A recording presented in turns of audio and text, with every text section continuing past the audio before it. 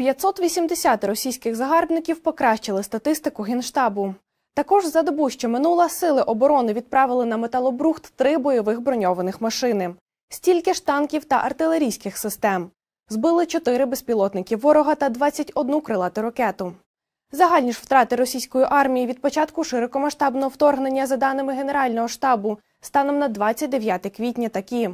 Українські воїни ліквідували більше як 190 тисяч 40 окупантів. Російська армія втратила 3697 танків і 7184 бойових броньованих машини.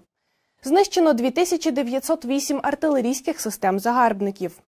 На 543 одиниці стало менше ворожих реактивних систем залпового вогню.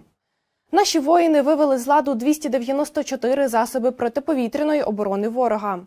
Приземлили 308 літаків та 294 гелікоптери. Автомобільної техніки та автоцистерн у ворога поменшало на 5836 одиниць.